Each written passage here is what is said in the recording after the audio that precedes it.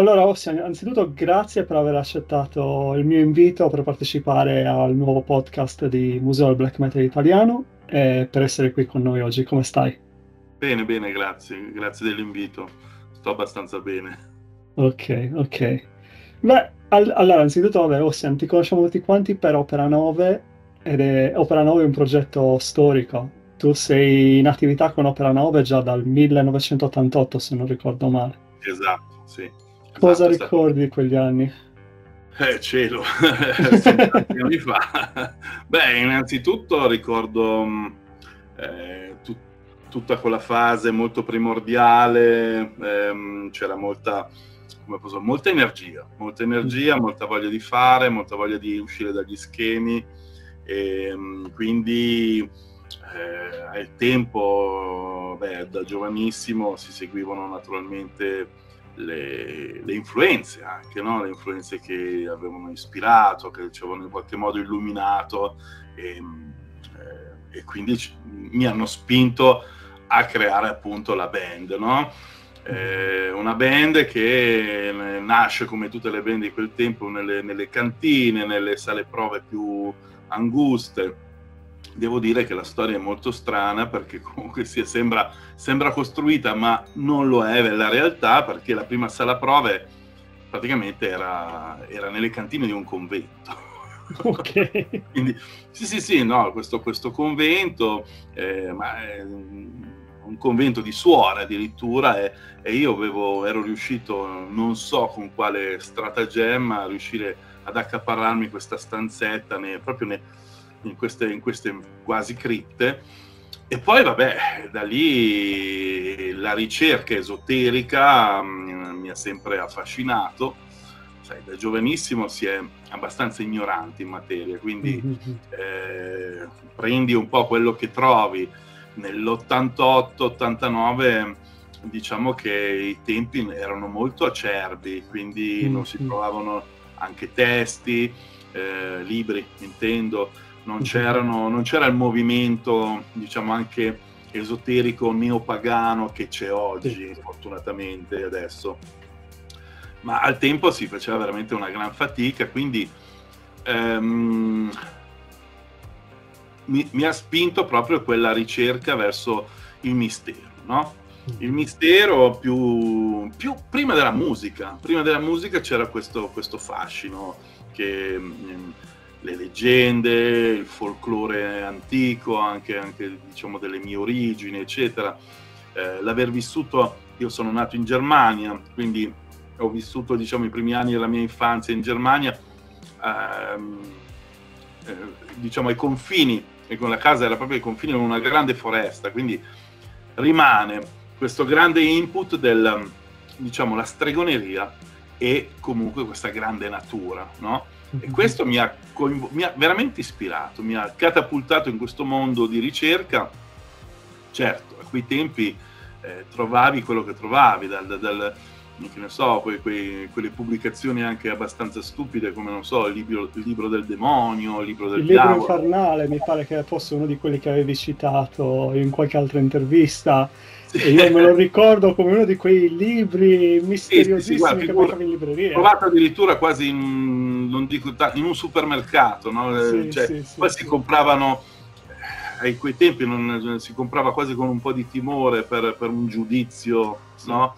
Eh, comunque chi se ne frega alla fine.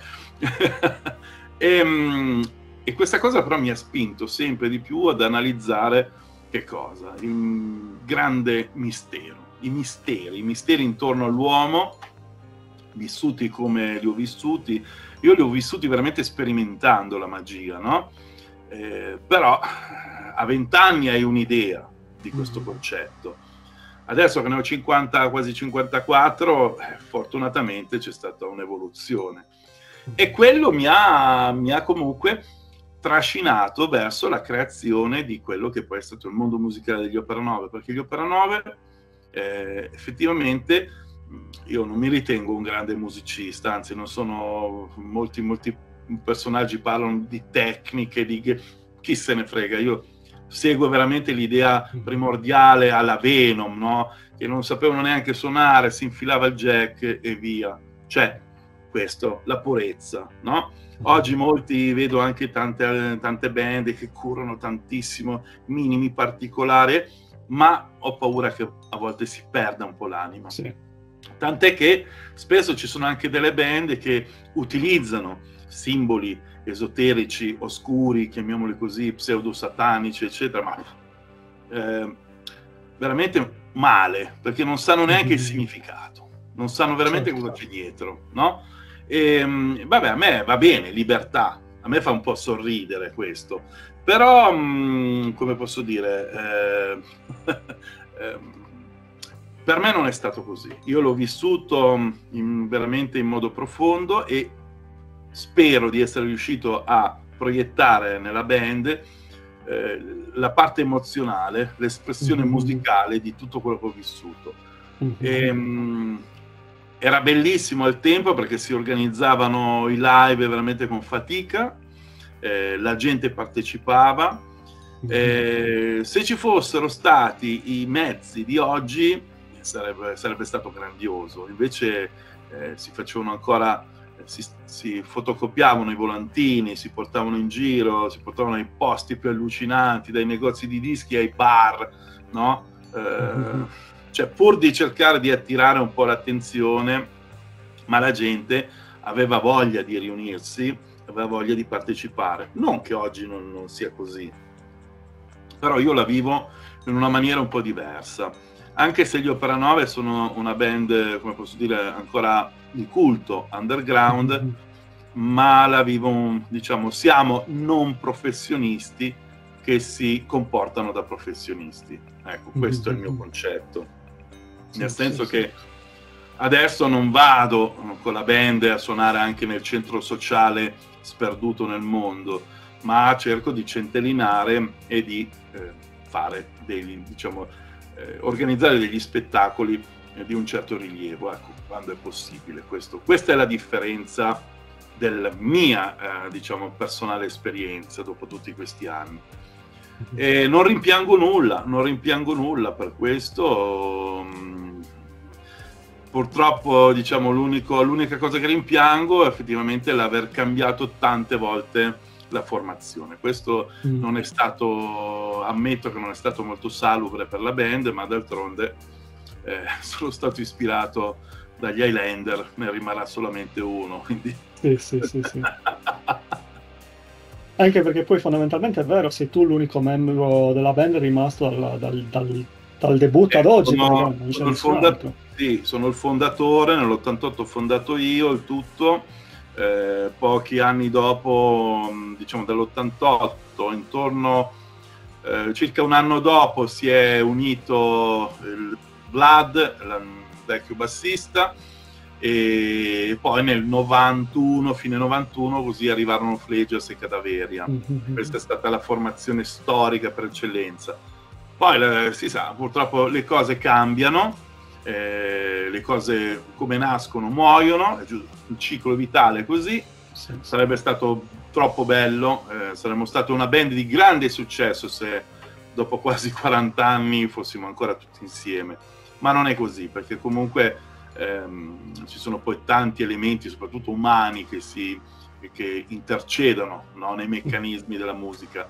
Certo, ehm, se già diciamo nel nel 2000 fosse arrivato diciamo il grande contratto che sì. mh, quello che, che, magari ha stravolto la vita a tante altre band diciamo d'oltralpe magari si sopportavano anche mm-hmm.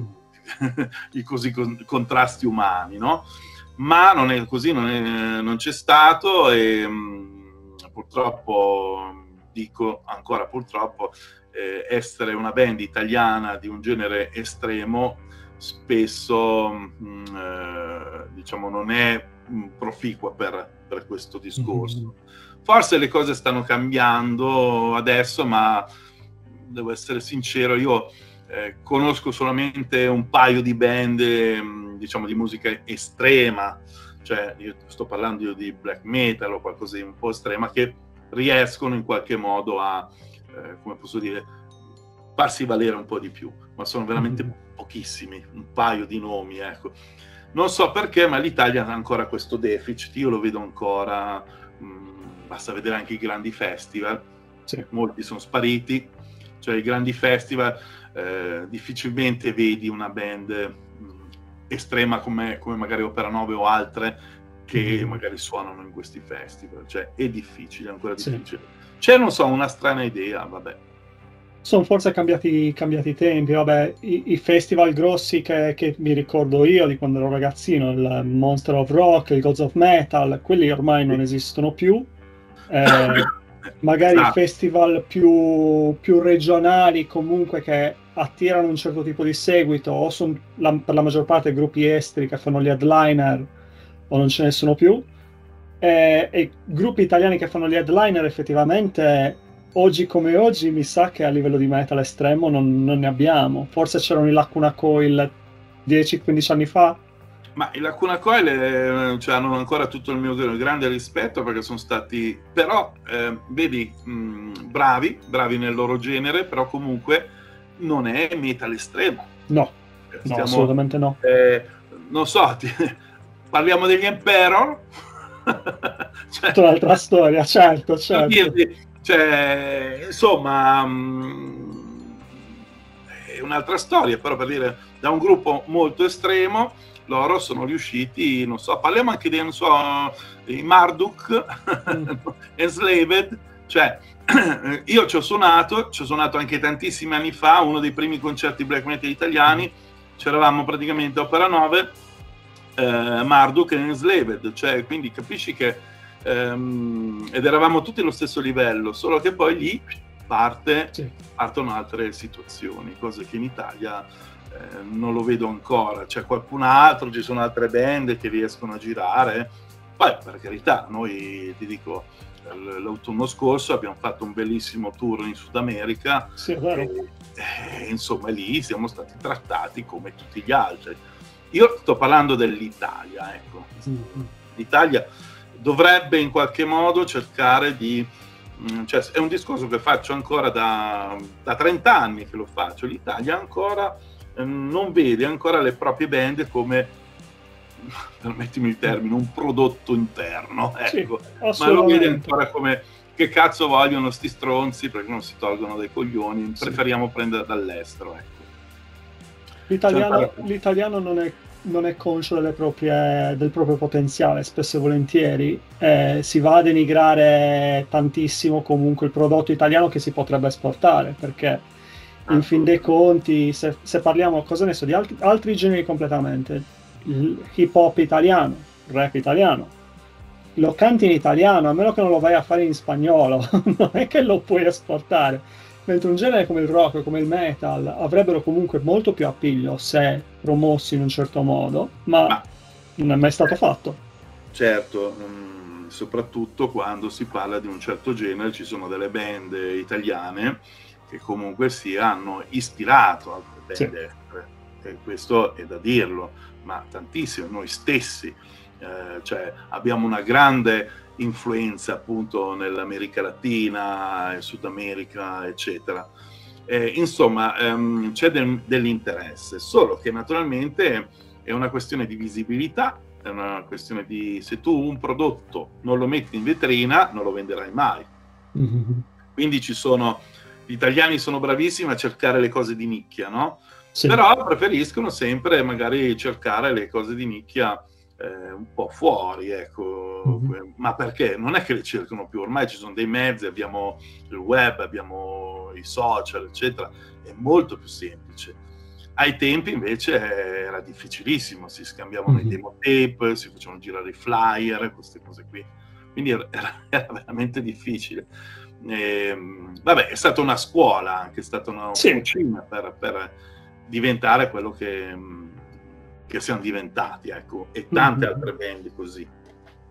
Però vedi, da questo punto di vista, anche tu, se non ricordo male da quello che, che, che ho visto per altre interviste che hai rilasciato, il tutto è iniziato nel 1988 chiedendo la chitarra a un amico per iniziare a suonare e sei sì, arrivato ma... comunque oggi, 40 anni dopo praticamente, che ancora le cose per te stanno funzionando in un modo in cui comunque mantieni viva quella band, con un sound tuo, perché al di là della nicchia tu ti sei creato la tua nicchia con il progetto Opera 9 e da quel punto di vista è un qualcosa che spesso, spesso e volentieri oggi, oggi, come oggi non riusciamo a trovare perché tanti progetti anche attuali, non solo in Italia ma anche all'estero, si rifanno a un qualcosa che è già stato scritto da altri. Mentre Beh. Opera 9 va avanti imperterrita la sua strada. Ti ringrazio che dici questo. Eh, guarda, questo è un problema poi di, dell'artista. Cioè, eh, mh, è difficile creare qualcosa di nuovo. L'arte è un continuo diciamo, riciclo di cose.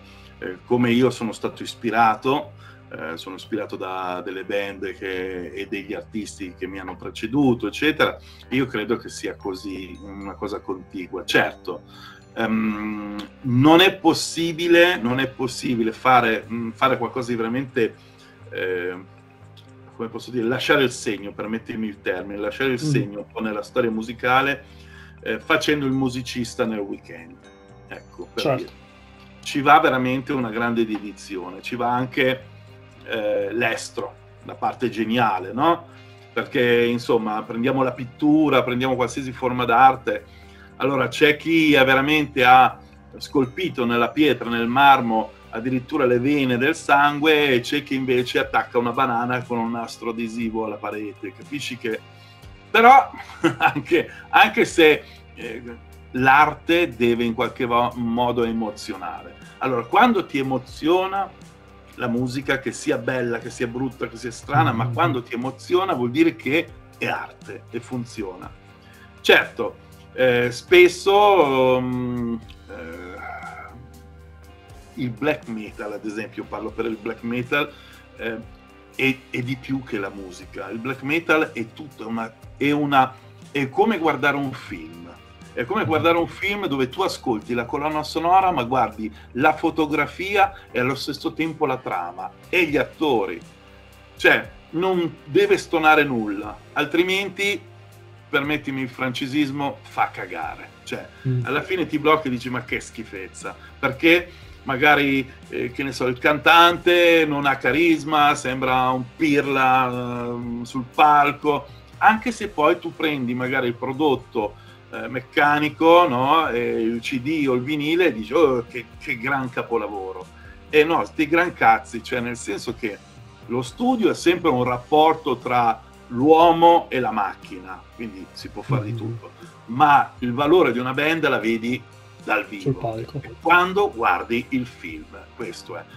Poi ci sono altri generi musicali che mh, mm, non c'è bisogno di tutta questa coreografia, no? Mm-hmm. Eh, ma non è, non è insito nel metal estremo. Mm. Metal estremo è qualcosa di più. Cioè, prendiamo tante altre band, io mi ricordo anche ai tempi, non so, gli Evil, no? Sì. Eh, famosissimi Evil, cioè gra- grandi amici. Eh, insomma, anche loro avevano colpito già per l'attitudine, anche nella loro semplicità di quel periodo, ma sì. avevano creato il loro allone. Mortuary Drape, grandissimi amici, sì. cioè, li ho ci vediamo spesso, almeno una volta a, al mese, e anche loro ave- hanno questa immagine particolare eh, che, è, che, poi non si è evoluta neanche tanto. L'immagine mm. è sempre quella, si è evoluta la musica, ma l'immagine è sempre quella, eh, io li definisco sempre molto eh, catacombali, ecco, no? questo, mm-hmm. questo, se, se, dovessero un giorno uscire sul palco completamente struccati, eccetera, sarebbe la loro fine. Certo. Però è l'idea, è lo studio di tutto questo e dargli veramente mh, mm, gran valore. Cioè, non bisogna solamente guardare a che bravo il bassista, che bravo il chitarrista, hanno un batterista tecnicissimo chi se ne frega di questo? Cioè, l'importante è che ci sia una bella di- attitudine e un'alchimia di tutto, non solo della musica, veramente di tutto. Beh, io sono stato anche un po', eh, come posso dire, eh, so, sono stato molto eh, severo anche sulla scelta delle tematiche quindi mm. sono, ho sempre cercato di entrare in determinate tematiche senza sconfinare nel banale. Spero almeno che per la, logico, eh, ciò che scrivevo nel 95 o nel 2000, insomma adesso potrebbe essere anche un po' banale, però mi viene in mente appunto uh, The Call of the Wood, che appunto 1995 nel 1995 nessuno sapeva ancora in Italia cosa fosse un movimento neopagano, io sì. ne parlavo già. Sì, sì. E questo, questo è quanto. Mm-hmm. È molto interessante questo punto di vista perché poi pensando a, agli esordi della band, se pensiamo al periodo tra Gothic e The Triumph of Death, quelli sono sì. stati gli anni in cui poi effettivamente avete creato l'immagine che ha accompagnato poi Opera 9 dagli sì. esordi a oggi. Beh, certo, eh, devo dire che ai tempi di Gothic c'era ancora molta... Eh, si era molto acerbi, mm. non confusi, c'era voglia di sperimentare, quindi eh, quel demo è molto, è molto veramente... Eh, l'ho scritto, penso di averlo scritto in una settimana, tutto quel demo, e poi lo, eh, è stato registrato praticamente da tre persone eh, è stato registrato da me, che ho fatto chitarra, basso, tastiere, eh, c'era il primo cantante Daniel Vintras eh, e Rex Bells, che è comunque il batterista, il primo batterista del primo progetto, che non ci chiamavamo, cioè ehm, è uscito il demo e abbiamo deciso di chiamarci Opera 9 perché c'era un altro nome prima Oh, okay. un nome allucinante che non riuscivamo quasi a, a, pronunciare, non sapendo bene l'inglese, perché era Doom Dark, no?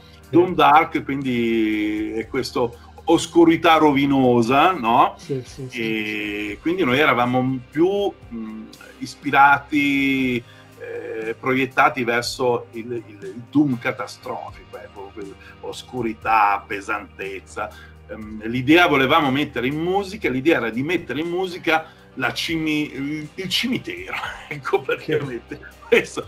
Non ci siamo riusciti proprio come volevamo e alla fine, insomma, io poi ho voluto sperimentare altro, poi è cambiato tutto, è cambiata già la formazione e così per scherzo conobbi Fledges eh, durante un concerto se non sbaglio era un concerto dei Dismember tantissimi anni fa e lì abbiamo fatto amicizia, parlato e lui entrò negli Opera 9 come cantante.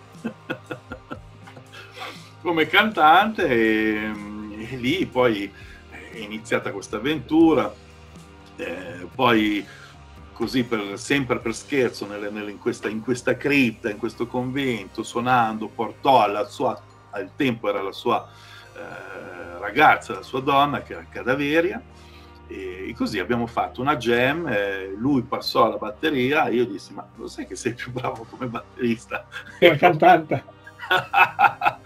Ai tempi, no? Perché avevamo questo batterista, noi, mm, questo ragazzo che, che ha registrato il demo Gothic, che insomma era, era bravo più per il Doom, ma mh, mm, meno veloce, meno è veloce anche con la doppia cassa. E io invece ero, ero veramente un rompicoglioni incredibile perché volevo accelerare un po' tutto.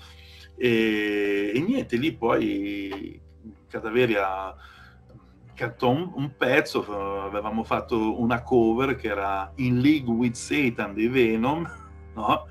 E io mi divertì tantissimo e proposi subito questo cambio di direzione, licenziai, vabbè licenziai, ma che cazzo licenzi? Ai tempi dissi al mio ex batterista, ho detto guarda, io, è più bravo lui di te, sai queste cose, ma in, in amicizia, eh, senza litigare, e quindi eh, c'è stata questa decisione ed è stata vincente, è stata vincente perché comunque Um, io non avevo quest'idea misogina del metal solo uomini, proprio non me ne fregava un cazzo, scusa il termine.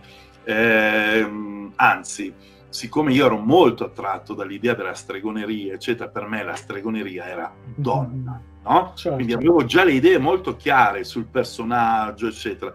Tant'è che il nome, il Monica Cadaveria, lo creai io. Gli dissi tu devi chiamarti, perché molte band si chiamavano anche le prime band trash eh, eh, italiane, c'era Luca, Joe, Tom, no? C'erano sì, i nomi, sì, sì, i nomignoli, no? Alberto. Per me no, ho detto no, noi, io voglio dei personaggi, quindi voglio che ci sia qualcosa dietro, non, deve essere un po' un costume, ecco, una maschera, mm-hmm. una maschera però reale. Quindi avevo creato il personaggio e così poi è stato. Poi purtroppo con il tempo le cose cambiano, eh, diciamo anche il, la, non dico l'attitudine, ma proprio l'interesse verso un genere eh, si sposta. Quindi ma questo è inutile che lo spiego io, non, non ci sono grandi no, certo, segreti, certo. basta che la gente ascolti cosa fanno oggi gli Opera 9, cosa fanno eh, cosa fa Fledges, cosa fa Cadaveria oggi, eccetera. Fledges, il cantante di Necrodef, è tornato a cantare. Quella gli è, rim- gli è rimasta sulla, sulla, gola perché gli avevi detto che come cantante non andava bene, quindi doveva riprovarsi. No, scherzo. forse, forse, no, no. non Però lo so. Fu, però fu, uno, uno dei, dei, motivi per cui penso i Necrodet ritornarono alla grande, perché poi quando ritornarono con Mother of Evil e Fleggias alla voce, quello Beh, diede un'impronta ai sì, sì, devo, devo, dire che ehm, con tutto il rispetto però la voce di Ingo è Ingo. Quindi era proprio una grande caratteristica dei Necrodet mm-hmm. Frejas ha fatto sua, il suo sporco lavoro insomma non, non, è, non è stato anzi lui ha, una, ha, anche una bella attitudine sul palco ancora adesso cioè abbastanza eh, gagliardo dai diciamo. Però eh, insomma, molte cose, insomma, io, io, sono stato un grande fan dei Necrodef e, e sono, alcune cose sono immutabili, ecco. mm-hmm. come molti diranno magari la stessa cosa degli Opera 9, certo, ai, certo. Tempi di, ai tempi, diciamo, dei, degli albori. Però mm-hmm. va bene così, va bene così. Una delle cose che, che mi sono saltate adesso alla mente da, dalla tua risposta. Anzitutto il fattore del voler mantenere quel, quella sensazione di occulto, eh, cimiteriale, sepolcrale, che comunque è un qualcosa che già viviamo in Italia dagli anni 70. Basti pensare all'apporto musicale di un Antonius Rex, uh, Iacula, per esempio, o progetti Doom che abbiamo avuto come i Data SS, i vari Polcene e così via, discorrendo, i, i Black Hole e tutta la roba sì. che poi vedi oggi come oggi ristampata alla Black Widow. E quello è un qualcosa che abbiamo in Italia da, dagli anni 70 ed è, ed è, bellissimo vedere che comunque gli Opera 9 avessero nel loro sangue quell'influenza comunque in arrivo al passato. Ah, guarda, eh, devo dirti che tutto il movimento esoterico e soprattutto il movimento anche neopagano, io parlo mm. del neopaganesimo, io sono un attivista, sono molto eh, invischiato in questo, in questo movimento, eh, nasce in Italia. Molti mm. pensano naturalmente a, all'estero, non so, faccio un nome così, non so chi, li, chi lo conosce, Gerald Garner, che è stato il creatore della Wicca. Eh, beh, lui ha creato la Wicca dopo un viaggio in Italia. Lui viene in Italia, sto parlando degli anni 40-45, viene in Italia con un suo amico eh, che era Ross Nichols, che era un neodruida, no? Quindi parliamo di druidismo e di stregoneria fanno questo viaggio eh, in Italia, tra cui Pompei, Roma, Firenze, e ripercorrono dice, tutti i fasti diciamo, del, dei miti. A Firenze c'è tutto il mito di, di, di, di Aradia, il Vangelo della streghe, delle streghe, di Leland, no? E loro furono veramente molto, come posso dire, ehm, ebbero un grande spunto, una grande energia e quando tornarono in Inghilterra misero in piedi in modo, diciamo, concreto i due movimenti, uno l'Obod, che è l'ordine degli Ovati, Bardi e, Druidi inglese, e l'altro la Wicca, pur facendo parte già dell'OTO, dell'Ordo Templis Orientis, mm-hmm. della massoneria libera, eccetera. Però insomma l'Italia ha ispirato, e questo è importante, pochi lo sanno, ehm, e molti parlano, quando si parla di esoterismo italiano, pensano solamente, non so, a Evola, ma non è così, mm. perché Evola purtroppo poi è stato molto politicizzato, ma l'Italia soprattutto, se, eh, se andate a leggere a radio il Vangelo delle streghe o altri testi di Leland, ehm, eh, racconta di, un, di, un'Italia, diciamo, degli anni eh, dei primi Novecento, che mhm. pur essendoci la Chiesa, ma era un po' il paese dei barocchi. Perché, per dire, in Inghilterra la stregoneria veniva eh, punita con, con, il carcere, cioè era, in Italia no. se tu eri una fattucchiera, leggevi le carte, eccetera, cioè non ti facevano nulla, al massimo dicevi che eri una povera deficiente, ma non eri perseguitata dalla legge. Non stiamo più parlando dell'Inquisizione. Eh, no, no, no, però de, de, il Satanic Panic che poi magari si è, ris- si è risvegliato molto più tardi, quel, qualcosa che in Italia forse è arrivato però in misura molto più, più ridotta, molto più controllata. Certo. penso che in Italia sia, sia risultato forse molto anche complicato dividere certi usi e costumi che comunque appartengono a realtà socioculturali, magari regionali, che sì. hanno sempre fatto parte della vita di tutti i giorni. E, ehm, e la magia in Italia è stato un qualcosa che comunque c'è sempre stato e ah. non potrei cancellare. Assolutamente, basta solo analizzare il termine strega eh, cambia di regione in regione, perché in mm. Piemonte viene chiamata masca, in Liguria è basura, in, in Lombardia stria, in Campania Ianara, eh, in Calabria è la Magara, eh, cioè insomma cambia veramente in ogni regione, sì. Eh, in, in, Friuli e Venezia Giulia i benandanti, cioè la strega, la, la, la, la donna di conoscenza, l'uomo di conoscenza ha diverse tipologie, quindi non c'è mm. solo The Witch, in Inghilterra, negli Stati Uniti, The Witch, stop. No, mm-hmm. noi abbiamo un personaggio per ogni regione, quindi sì. caratterizzato da un substrato culturale molto molto forte, molto potente, sì, sì, anche a livello sciamanico, eccetera. Il resto, cosa dire? Mm, eh, molti, molti per, per, la domanda che hai fatto te del, del passaggio dall'idea un po' più gotica, molti ci hanno definiti una band gotica, ma noi sinceramente, boh, non so, io eh, no, non ti... Eh, non so, non ti posso neanche elencare se tra le mie influenze ho ascoltato pochissimo gothic punk, qualcosa mi è interessato, non so, da, da Diamanda Galax mm-hmm. a Stuxy and the Banshees, i cult, no? Mm-hmm. Però non erano, non mi ispiravano più di tanto, perché la musica era morbida, sì. era molto morbida mi ispirava veramente eh, più che altro il concetto. Quindi quando io volevo rappresentare l'oscurità, allora per me era veramente il Doom, era l'ideale, ecco, mm-hmm. la parte molto profonda, eh, ctonia, no? Allora questa era l'idea del Doom. E poi naturalmente invece quando vuoi dare un'espressione più selvaggia, eh, più, più, violenta, beh, lì naturalmente abbiamo accelerato anche la ritmica, i ritmi, eccetera. E poi, mhm. vabbè, la caratteristica è stata sia anche, eh, non abbiamo mai avuto due chitarre, no? Però abbiamo mhm. avuto sempre le tastiere, abbiamo sempre sì. avuto utilizzatori, campionatori sempre ben presenti nel sound degli Opera Nova che ha sempre dato una grande atmosfera, ha caratterizzato mm. tantissimo. Sì, e, e, poi da lì comunque l'altra cosa che che mi viene alla mente per avere la voce o comunque la voce femminile che cantasse quello stile di musica era un certo. qualcosa che durante i primi anni 90 praticamente era inesistente, quindi anche da quel punto di vista gli Opera 9 è molto all'avanguardia rispetto a tantissimi altri gruppi stranieri. Penso che forse l'altro gruppo in Europa che avesse avuto quella, vo- quella voce a livello di black metal fossero fa- forse le Astarte, ma che arrivarono poi diversi anni più tardi. Sì, sì, arrivarono più tardi, beh, c'era eh, beh, ai tempi ci fu un'intervista, non so se qualcuno, ma an- anche Angela Gossov disse che si era ispirata a Cadaveria. Quindi, cioè, queste cose le sanno in pochissimo, però ci fu questa intervista tanti anni fa perché poi eh, cioè, arrivò un po' dopo di noi, eccetera.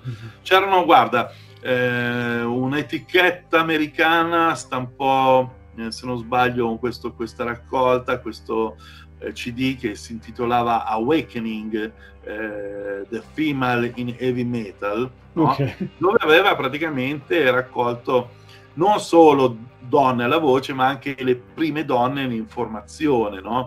e, ce n'erano già qualcuna. Come cantante non propriamente, c'erano veramente poche, pochissime.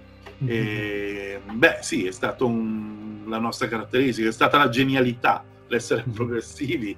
E, e, oggi continuiamo perché, pur avendo avuto poi un periodo con un ritorno di una voce maschile, ma eh, purtroppo questo è stato. Mm, è stato un errore. È stato un errore mm. perché, eh, per carità, non rimpiango nulla, però col, col, senno del poi è stato un errore perché mm, quando c'è stato lo split Cadaveri Opera 9 non fu facile trovare una, un sostituto sì, ci furono un paio d'anni, se non ricordo male, Maleventum con un cantante e poi Marco De Rosa subentrò sì, esatto. eh, per Anfisbena, se non ricordo male, il successivo. Sì, Anfisbena e Strix, due album. Mm-hmm. Quindi ci sono stati... Però poi ehm, abbiamo rallentato tantissimo perché mentre nei primi anni eravamo molto, eh, diciamo, produttivi, no? si riusciva quasi a scrivere un album nel giro di uno o due anni, eh, poi abbiamo iniziato a rallentare perché purtroppo, eh, come, come, si suol dire, non, non, si è professionisti, quindi non si viveva di, di, di, di quel genere, anche se mh, gli Opera 9 hanno, posso, sono sopravvissuti grazie alla loro arte quindi, eh, ma non, non, tutti i membri non riuscivano a, a campare ecco, di musica, quindi questo ti rallenta tanto. Purtroppo certo. eh, mi ricordo eh, una cosa che disse l'amico Alberto AC Wild dei Bulldozer, disse che per una band italiana gli italiani fanno il doppio della fatica, cioè mm. degli altri, perché devono lavorare per magari investire poi parte dei loro proventi per mandare avanti. Per fare musica, sì. Ecco, questo è quanto. E, mh, sì, purtroppo ehm, quel periodo lì, poi c'è stato il periodo del grande, come posso dire, transazione, perché passiamo da un periodo storico in cui si viveva ancora col materiale fisico, col CD, con il vinile. Il mondo del digitale, sì. Di... E poi è arrivato il mondo dello, diciamo, dello sharing e questo ha veramente mh, castrato tantissimo perché ehm, se in qualche modo ha danneggiato una band grande, figuriamoci le piccole band. Molti dicono ma no, assolutamente no, eh, è servito per farci conoscere, ma in realtà no, perché qualcuno cosa faceva? Scaricava, condividevano, giravano questi... Eh, io mi ricordo con i, i tempi, se non sbaglio, di eh, di Malevento, Manfisbena, eh, l'etichetta eh, aveva mandato i cosiddetti CD promozionali alle varie fanzine, giornali, eccetera, e due o tre giorni dopo c'era tutto il materiale online scaricabile, tempo c'era i mule, eccetera, queste sì. cose qui. E questo faceva girare i coglioni, scusa il termine. No, no, chiaro, chiaro. Perché qualcuno diceva, trovava la scusa, ah no, ma io me lo sono scaricato, poi se mi piace lo compro però mh, mm, cioè, la, le vendite sono collassate, no? scuse sì, sì. stupide, no? Ma se ti avessero dato un centesimo per que- ogni persona che ha detto sì, se mi piace lo compro. A quest'ora, guarda, avevo, potevo vivere di rendita, ma vabbè, scherzi a parte. Ehm, no, perché comunque si danneggia tanto. Sì. Si danneggia perché poi le etichette discografiche sono passate a vendere grandi numeri. Parlo ad esempio di, eh, parliamo ad esempio di The Black Opera, no? eh, che ha venduto più di sulle 18.000 copie in tutto il mondo, siamo passati poi a Maleventum che ne ha vendute eh, 6.000. Sì. Quindi, allora, sicuramente può essere anche che la band senza Cadaveria non sia più piaciuto. E eh, va bene, questo ci sta, il rischio va bene. Però eh, a vendere la metà mi sembra un po' tanto, quindi penso proprio certo. che molte persone abbiano approfittato di, eh, di, di tutta questa nuova tecnologia, dello, dello, scambio, dello sharing, di scaricarsi. Fortunatamente poi, e, e poi è sempre meno, sempre meno, fino ad arrivare adesso, se vendi 3.000 copie sei una grande band, capisci? Cioè, sei veramente una grande band.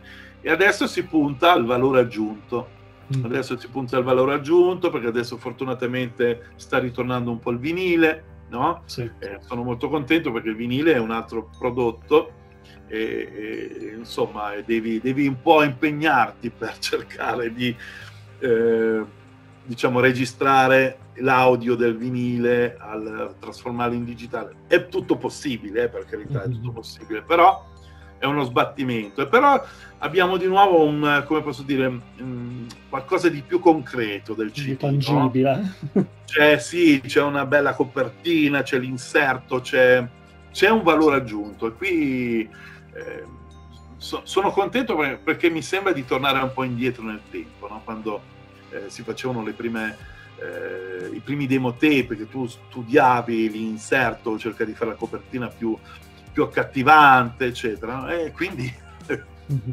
questo è quanto.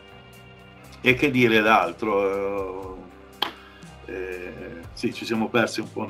no, no, no, assolutamente, assolutamente no, ma eh, come detto, cioè, il, fatto, il fatto che comunque Calaveria fosse, o l'avere una cantante femminile fosse un qualcosa di in più che al momento sì. nessuno aveva, essere all'avanguardia, e, eppure gli anni 90 per l'Opera 9 sono stati un po' misteriosi per me, perché siete arrivati su Miscarriage con uh, The Call of the Wood, poi siete arrivati su Shiver con Sacro Culto, no. poi finalmente all'Avantgarde con, uh, con allora, no, no, no, allora noi siamo, siamo allora siamo mm, eh, sì, eh, esatto.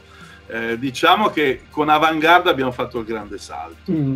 Perché Avantgarde eh, è un'etichetta che poteva fare anche di più, era, una sì. grande etichetta italiana perché la Shiver era belga, eh, purtroppo ehm, non ha insomma eh, non ha dato giusto eco agli mm-hmm. Opera 9 potevano fare di più tant'è che adesso la Shiver Records è diventata una, un mail order cioè non, non esiste neanche più come etichetta eh, ma poi forse ci sono stati dei problemi con il, il l'owner cioè colui che ha aperto non so neanche forse ha avuto dei problemi di salute non, um, ci siamo persi da tantissimo tempo. Eh, diciamo che la, la, vabbè, la miscarriage di Figiaconi, Figiaconi era, era, era, un amatoriale, era molto amatoriale, poi lui diede addirittura tutto a Nosferatu, sì. non so se ti ricordi la Nosferatu Records eh, siciliana. Ma che Nosferatu che poi nel 96-97 aveva già praticamente chiuso i battenti perché non stavano più producendo nessuno, se non ricordo male in quel momento. E guarda, io non so, ma gli italiani sono stati poco, come posso dire, non sono stati dei grandi imprenditori. Mm. Non so, ehm, perché comunque, e non riuscivano a dare il giusto, giusto, come posso dire, valore alle band che avevano, perché comunque eh, in realtà la Nosferatu Records aveva un buon giro in Italia, sì. Un, un bel giro in Italia, era molto... Eh, aveva una, una bella visibilità i professionisti sono stati, è stata l'Avantgarde. L'Avantgarde è Trementi, perché c'era Roberto Mamarella, eh, poi c'era Gio Ferraro e, eh, e, Valerio. e Valerio Solinas. Mm-hmm. Ecco, tre, tre, persone veramente con testa. E purtroppo però anche loro, non so per quale motivo, alla fine credo che abbiano risentito di tutta la problematica del, diciamo attuale, moderna, non, se non era mm. più, era un grande impero. Pensare che avevano sotto contratto band anche come i Beamot. sì, sì, sì, sì, assolutamente. No, la, L'Avanguardia era una di quelle etichette che comunque, ascoltando poi anche Valerio e i suoi racconti dell'epoca, Avanguard era un'etichetta che era arrivata alla fine dei 90, primi 2000 e già stavano svendendo tu, o vendendo anzi i, i contratti perché non pensavano che comunque certo, certi generi avrebbero avuto vita lunga. Quindi avevano venduto i Catatonia, se non mi ricordo male, e avevano venduto no, poi in altri. Realtà, in realtà no, in realtà hanno venduto tutto il loro catalogo. È mm. stato venduto, infatti qui c'è stato un po' problema anche, è un problema non, non, non propriamente molto corretto da parte loro, perché loro vendettero tutto senza eh, discutere anche con le band, eccetera.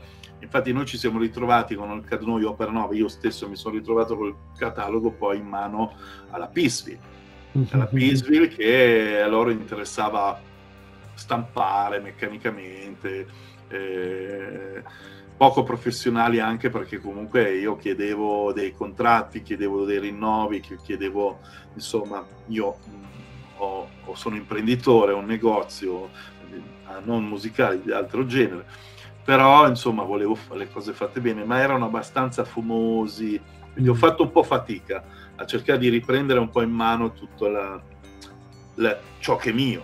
diciamo, il mio diciamo, prodotto intellettivo eh, del, del, degli Opera 9. Quindi ho detto va bene, se volete ristampare facciamo i contratti. E, e qui è stato un po' veramente buttare via non, non solo Catatonio, ma tante band, appunto noi Opera 9, eh, Mortuary Drape, e poi fortunatamente i Mortuary Drape per via della loro, diciamo, loro sono molto bravi a, ad aver mantenuto, diciamo, una, come posso dire, una visibilità, una, una partecipazione molto mm. attiva mm. a vari festival, eccetera. Ehm, e quindi eh, naturalmente Pisvi dice, bene, voi siete una band che siamo ancora interessati a, fa- a mettervi sotto contratto perché cioè, ci siete. Oggi una band deve suonare in giro, cioè mm, deve essere molto presente, altrimenti le, non potrai mai finire in una grande label, no? Cioè, è una questione di eh, professionalità. Ecco. Noi eh, alla fine abbiamo fatto un'altra scelta per adesso, eh, perché comunque eh, il tempo è quello che è, poi i membri siamo, siamo tutti sparsi per l'Italia e quindi si fa un po' fatica a, a fare dei, diciamo, centelliniamo molto di più le nostre date e, ci, e vorremmo suonare solamente dove merita per, per l'immagine della band stessa, ecco questo qua. Però ehm, sì, eh, questa è le, la storia diciamo della produzione discografica eccetera qui in Italia è veramente molto sofferta perché fondamentalmente non c'è stato nessuno che abbia veramente mirato, pensato in grande perché eh, la stessa Vanguard Music perse i Beamot perché i Beamot volevano maggior supporto, volevano maggiore promozione. Mm-hmm. Ecco, promozione vuol dire fare tour, andare, cioè tour su tour, perché loro d'altronde adesso sono diventati sì. dei colossi, vivono di questo e insomma però cioè, avrebbero guadagnato entrambi, no? Bisogna crederci spesso. Sì. A volte dico io, non so fino a che punto eh, mm. anche l'etichetta credesse nelle band. Sì, sì. Eh, questo eh, bisogna mettere questo grande punto interrogativo ed essere sinceri, ecco. Per carità, io, io a, accetto le critiche, posso accettare le critiche e dire bene, oh, gli Opera 9 hanno avuto anche un periodo di calo perché la scelta fatta magari di, di introdurre una voce maschile che ha cambiato, uh, è stato un periodo di grande transizione, mm. anche se Maleventum per me è un disco fondamentale, perché mm. Maleventum è diventato proprio il brano, anche Maleventum è il brano più conosciuto al mondo degli Opera 9, perché entriamo nell'idea un po' pop, no? perché la canta. Sì, sì, sì, sì, Però anche da quel punto di vista, vedi Ossian, cioè comunque sia, al di là, al di là del calo, comunque con Strix siete arrivati su Agonia Records e Agonia Records non era un'etichetta da poco in quel momento. No, no, ma questo, guarda, devo, devo ringraziare il mio amico Roger Tiggs, in arte Infernus, dei Gorgoroth, perché fu lui a, a consigliarmela, a dire guarda, prova a contattarli, perché secondo me io avevo mandato a lui, gli avevo mandato così da ascoltare un paio di brani e lui mi ha detto bello. Ho detto, guarda, ti interessa? Lui aveva eh, questa, questa, etichetta che era la, eh, la, Force of Satan, se non sbaglio. Sì, che avevano aperto il rooster con Black Flame, parlavo con esatto, loro un po'. Esatto, esatto, esatto, ma era proprio piccolissima e lui ha detto, ma no, io non posso produrvi, veramente sono inadatto. Mm-hmm. Fa, ti consiglio l'agonia. Vabbè, io scrissi subito l'agonia, raccontando un po'. Agonia subito, era interessatissimo, fece un, un bel contratto, ai tempi andò bene e eh, mi sono tolto anche una soddisfazione perché eh, fu fatta anche la copertina da Chris Werwimp che, stato, copertina. che fece la copertina e lui disse cazzo mi mancavate voi perché lui è un grande fan anche degli opera e lui aveva fatto le copertine di Marduk aveva fatto copertine a tante band dice io volevo fare una copertina per voi finalmente wow. siamo riusciti a farla.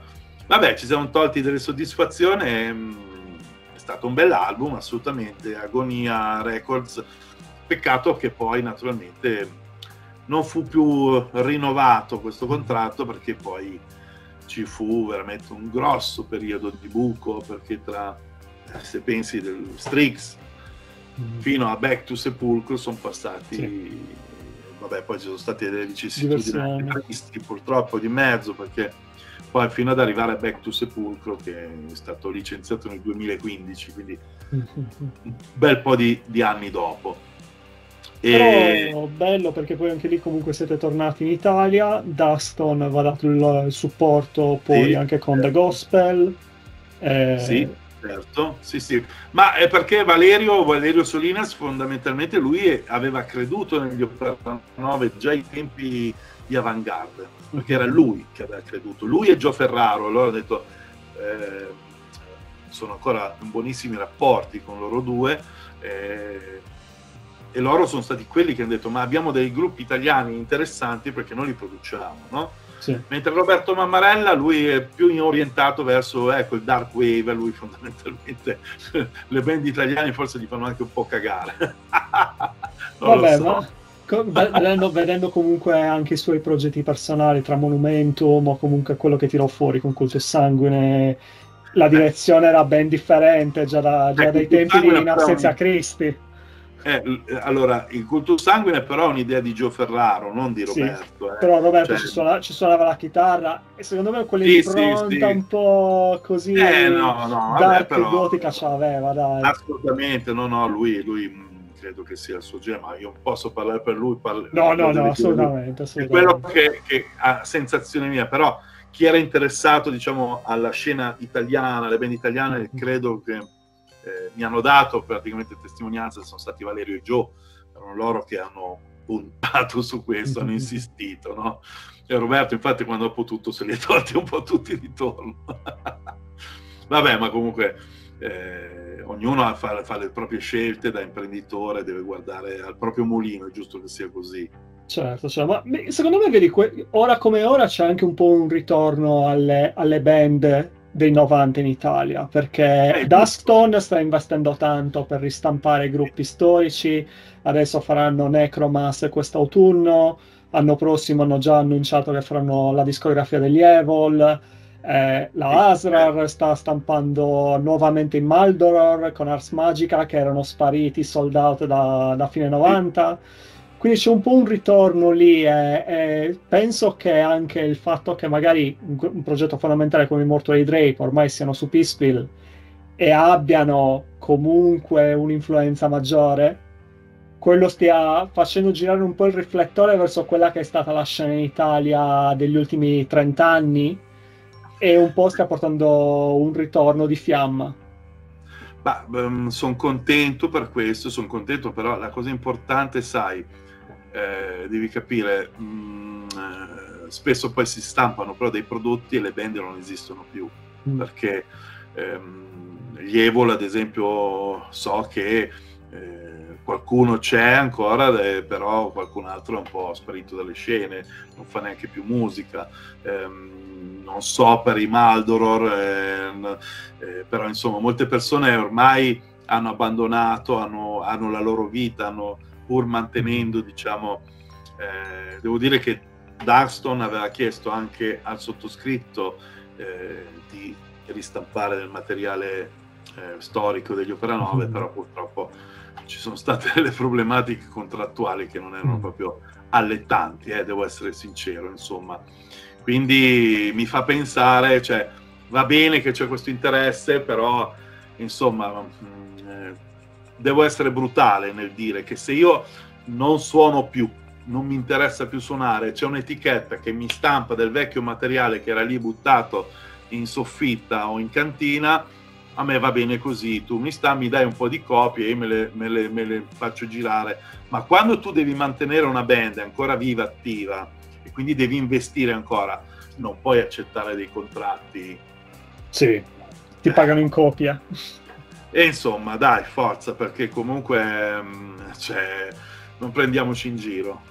Certo, sono son dinam- son dinamiche differenti, no, no, ecco, sono dinamiche molto differenti, ma sono contento, sono veramente felice che perché quelle band lì, quelle band hanno detto molto, tutte, tutte, indistintamente hanno detto molto a questa scena italiana. Eh, qualcuno è ritornato, in, sia un po', penso, non so, inchiuvato, no? per dirti, sì. cioè, sono, è ritornato un po' in auge, ha fatto qualcosa, ecco, questo, questo va bene, l'importante è che ci sia l'infa vitale, ma che poi ci sono le nuove, permettimi il termine, le nuove leve, c'è qualcuno di molto interessante. I ragazzi sono anche oggi sono, hanno le idee molto, molto professionali, anche creano un, eh, come posso dire, un prodotto vendibile. Un prodotto, ma c'è dietro, c'è dietro, una bella produzione, c'è una bella... Sì. Mh, mm, cioè, ai tempi noi, insomma, le belle produzioni le dovevi pagare tantissimo. Adesso, cioè, adesso è un po' più semplice. Adesso devi trovare un buon, chiamiamolo fonico, un buon tecnico sì. che abbia le idee chiare, che ti faccia suonare. Ecco, ti che ti sappia suonare. produrre in un certo modo, assolutamente. Eh, sì, sì. Quello, questo è importante, questo è molto mm-hmm. importante. Ma una, tra le ultime domande che non ti voglio trattenere no, no, vai, vai, vai. Eh, vai, come vedi il fatto che comunque sia, vedi, proprio da questo punto di vista, il fattore internet e tecnologia ha dato la possibilità comunque anche ai gruppi moderni di vedere i numeri sin da subito e capire da subito come funzionano le cose. Come lo vedi? Perché parlavamo di, sai, una volta si faceva il tape trading, se ti piaceva il gruppo te lo compravi, e il tutto, diciamo, creava i numeri per le vendite. Oggi come oggi invece il numero delle vendite non c'è, ma hai il numero dei mi piace, che non è proprio la stessa cosa. No, no, è una cosa effimera, no, non c'è paragone. Ti faccio l'esempio. Allora, è un esempio molto pratico. Ok, tu puoi avere i mi piace, puoi avere queste cose qui, ma in realtà, eh, in realtà per fare le cose bene dovresti avere un uh, social media manager, dovresti avere una persona ma non un, un, un cretino che vende eh, materassi e poi a tempo libero eh, si mette con tutto rispetto per chi vende materassi e poi nel tempo libero si mette a curare una band di un certo calibro o calibro, di un certo alone, di una certa immagine. Ci va una persona che sappia. È come se io dovessi prendere un, uh, un illustratore per fare una copertina degli Opera 9, però prendo un illustratore che è specializzato nei manga. Cioè, capisci? Non è possibile. Ci va una persona che sappia, che conosca il genere e sappia eh, gli algoritmi giusti, ecco.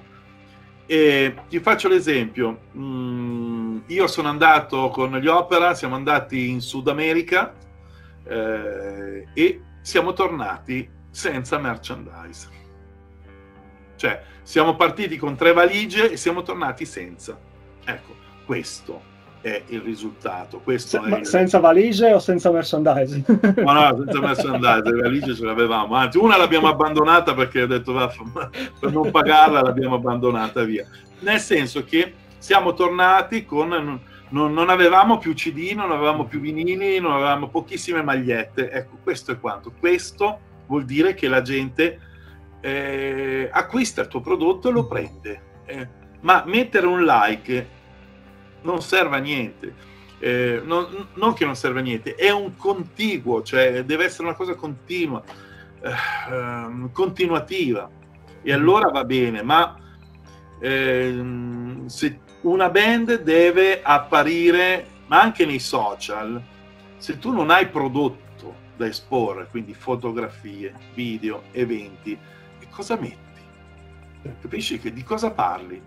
Di cosa ha cucinato Ossian questa sera? No, capisci che eh, non, non, funziona così. Quindi devi avere materiale anche da... Eh, allora, dalle, una, volta, una volta magari potevi... Eh, cioè quando facevi uscire le fotografie, che, che chiamavi ancora il fotografo a farti le foto, bisognava svilupparle, poi cazzo, du- su 20 foto 19 erano mosse e una era buona, no? Adesso fortunatamente col digitale è un po' più semplice.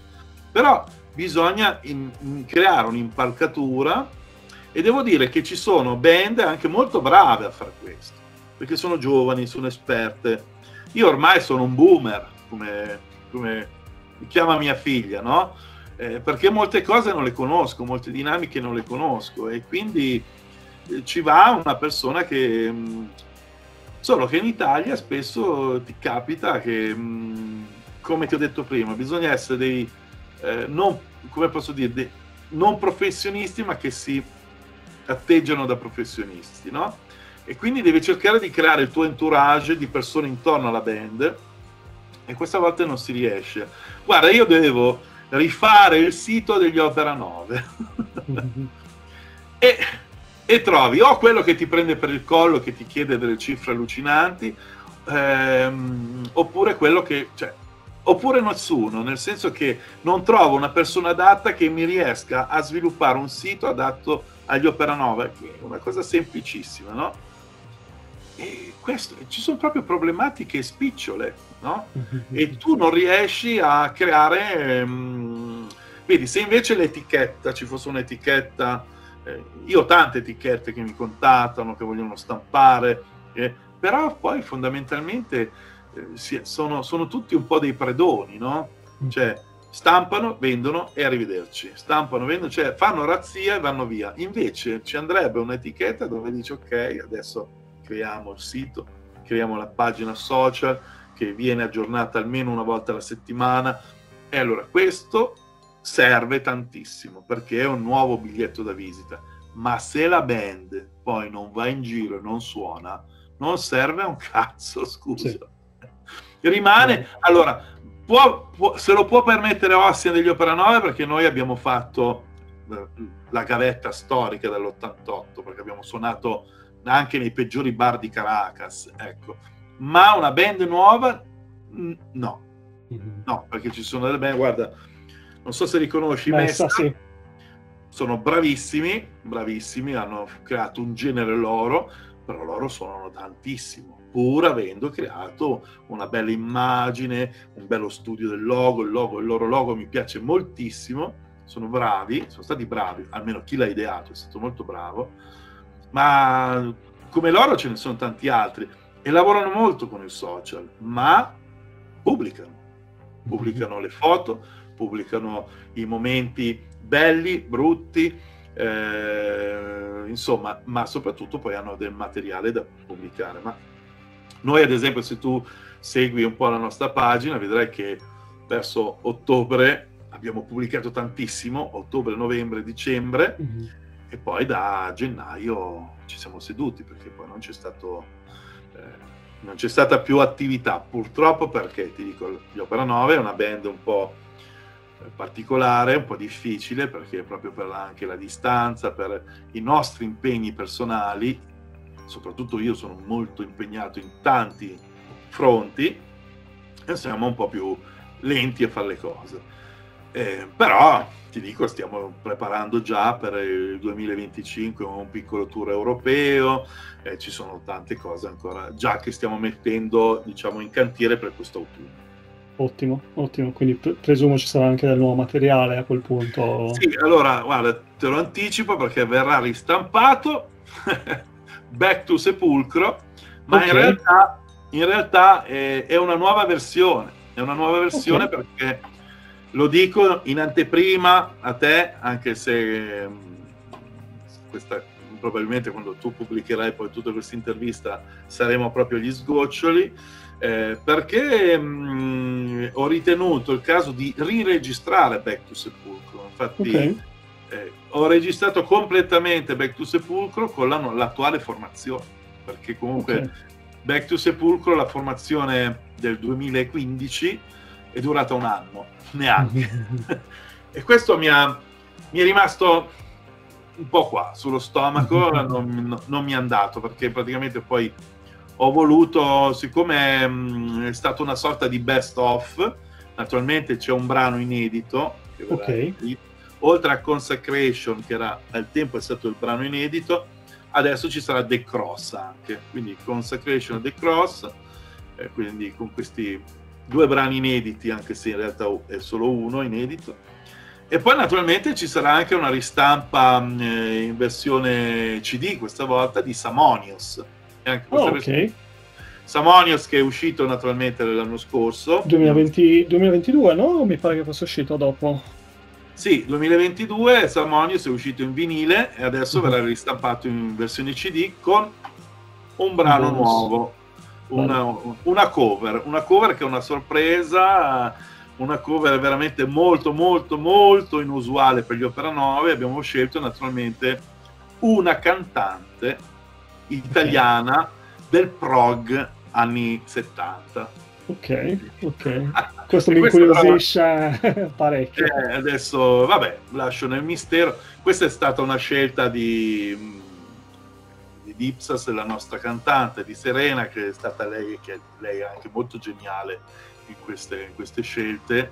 Devo dire che finalmente con lei abbiamo dato il giusto, diciamo, mm, eh, rimpiazzo, il giusto rimpiazzo, anche se non mi piace usare il termine rimpiazzo, ma è una degna nota eh, alla storia, alla precedente storia degli Opera 9 con Cadaveri. Insomma. Adesso c'è lei e lei è veramente una grande vocalist certo. di musica estrema, anche perché è molto brava nel variare tra diciamo, il, il growl e, il, e, lo scream, il growl e il pulito. Il pulito no? sì. eh, perché... Tantissima esperienza serena con anche i suoi progetti passati e eh, tutto quello che ha fatto negli anni tanto di cappello.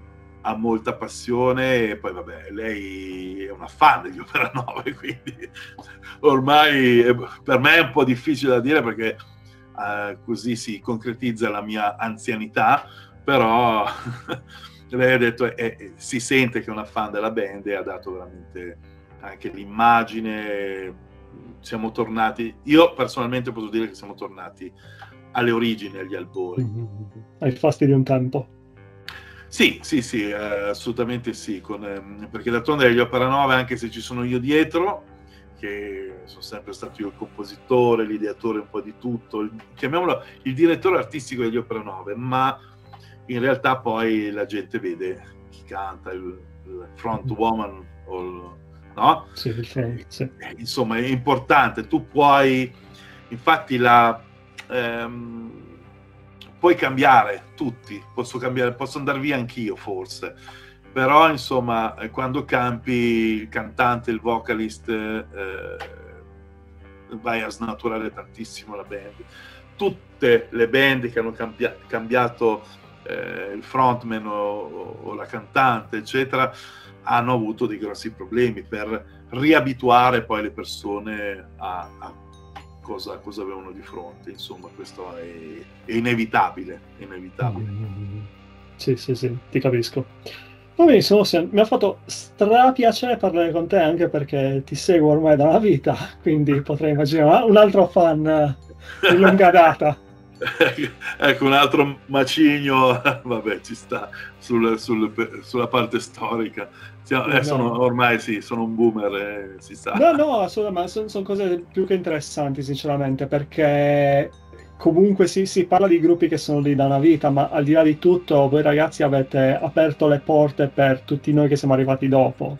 E senza i vari Opera 9, senza i vari Mortali Drape, o chi, chi, che sia tra gli anni 80, senza i bulldozer in Italia, vedete SS, la musica estrema in Italia oggi come oggi non avrebbe la stessa faccia e non avrebbe lo stesso, lo stesso sapore. Quindi vi dobbiamo tanto, e, al di là di tutto. È assolutamente sempre un piacere poter parlare con voi ragazzi e, e venire a conoscenza di come voi avete vissuto la, la, la vostra vita vivendo pur nell'underground, ma essendo comunque dei gruppi di riferimento oggi come oggi, non solo in Italia ma anche all'estero. Quindi, guarda, è, è più che un piacere un onore da parte mia. Ti ringrazio per le tue parole. E... grazie, grazie moltissimo. Grazie a te. Perfetto, alla prossima allora, dai. Ciao. Grazie ancora, buona serata.